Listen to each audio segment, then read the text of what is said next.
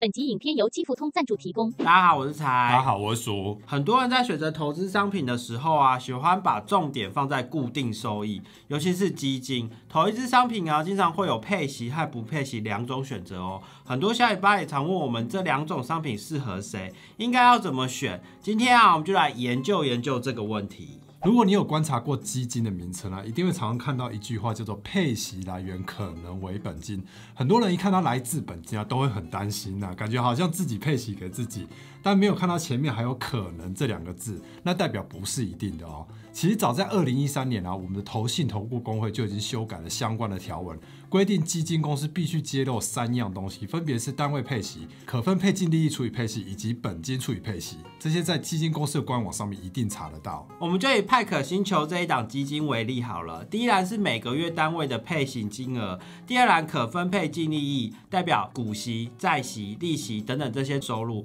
除以那个总配息所占的百分比。像二零一九年一三五七这四个月啊，都是一百趴，代表都没有配到本金哦。而最后一栏就是本金再配息的比例，红字这几个月啊，都是有部分是来自本金，其中啊十月还高达三十趴，所以在买配息型基金之前啊，一定要去了解过去配本金的状况哦。但我们这里先假设配息都不是来自本金好了，选择月配息的商品啊，最大的优势在于固定的现金流，但缺点是啊，没有办法享受复利的效果，利息可能也要并入所得申报。如果要再重新投入啊，又会多出交易成本。相反的啊，要是选择累积型的商品啊，则比较一劳永逸，因为配息啊是直接反映在单位数的增长，将来卖出实现获利的时候啊，国内基金的资本利得收益还可以免税哦。在大环境多头的时候啊，买进的单位可以跟着往上增值，但缺点是啊，如果遇到空头啊，自动投入的那些单位净值也会跟着缩水，就是了。不过啊，我们会建议三种不同的选择方法。如果啊你是刚开始投资的小资主啊，时间是你最大的优势，其实啊不急着去领少少的月配息，也不会一不小心啊就把它乱花掉了。适合用累积型商品，让它无脑的自动投入，来加快成长的速度。但如果你是已经工作了四五年的小主管啊，资产累计已经达到五十万以上，这时候我们反而觉得可以转换成年配息的商品，每年发自己一次奖金。假设五趴好了，五十万算下来就是两万五，看是要出国啊，还是要换个手机都可以。用这个年配息啊，来适度的激励自己，继续往理财的目标迈进。而如果是已经达到退休的族群啊，资产已经累积到五百万以上，未来可以靠时间增值的幅度已经相对比较少，那获取稳定的现金流啊，还是第一优先，所以就适合选择月配型的商品。同样以年配息五趴左右的商品计算了，平均每个月就大概有两万多块的固定退休收入。其实现在基金在不同配息级别之间转换啊，也很灵活哦，可以随着每个阶段的需求啊，来主动调整配息的方式。如果你想了解有哪些商品适合自己，或是有哪些不同的级别，包含币别啊、前收后收等等，我们会推荐基富通，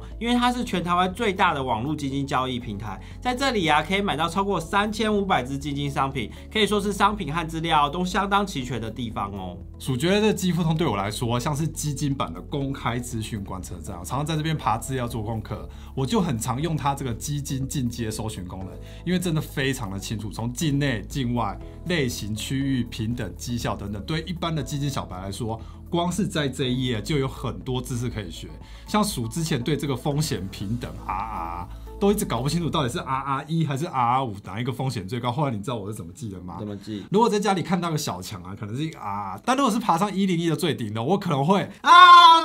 因为鼠很怕高，所以 R 五的风险最高。假设啊，我们现在要找台股基金好了，只要选境内股票新台币，底下就会自己挑好咯，而且啊还可以复选哦，好像在购物网站里面买东西一样。下面的结果啊，除了基金的资料、基金的绩效，我最爱用的啊是这个基金表现，它可以根据五大指标来排列。我自己啊最重视的是夏普值和标准差。顺便 FQ 一下好了，这个夏普值的意思是投资人每多承担一分风险啊，可以换来的超额报酬。翻译成白话的话就是。CP 值的概念，而标准差则代表净值的波动程度，是自己跟自己比的哦。数字越小越稳定。透过这些指标的排序啊，很快就能筛选出表现不错的台股基金。要在三千多大里面找到标的啊，也变得简简单很多了。更棒的是啊，他们网站最近改版了，把很多常用的功能，像优惠活动啊、申购基金啊、投资开奖等等，透过更图像化和视觉化的方式整合在一起。像它这个聪明选基金啊，就新增了四大功能：选择单笔短期或是定期定额，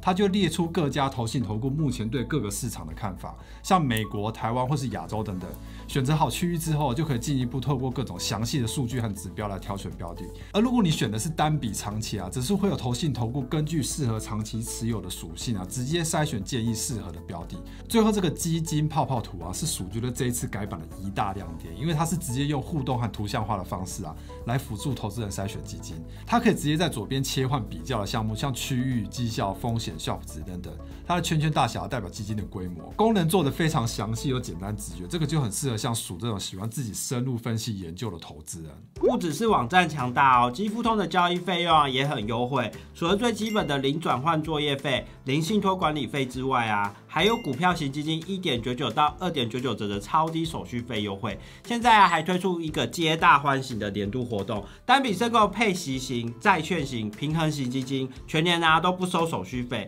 同样一百万申购单笔境外基金啊，如果申购手续费用三趴以五折来计算好了，再加上信托保管费，一年下来啊可以比银行通路多省一万七千多块哦。另外为了庆祝这次的改版啊，即日起到七月底之前，开户还会再送定期定额。前十二次扣款零元申购手续费 coupon 一张，详细资讯啊可以参考一下基富通的官网哦。所以推荐大家可以到这个新版的基富通网站做功课，里面有很多免费又佛性的资料。不管你预计的投资金额有多少，都可以上去了解市场的动态增加知识，挖得到就是你的。以上就是这一集关于基金配息与累积的分享。最后啊，还是要提醒大家一下，投资一定有风险，基金投资有赚有赔，申购前呢应详阅公开说明书。财务兄弟，我们下次见，拜拜。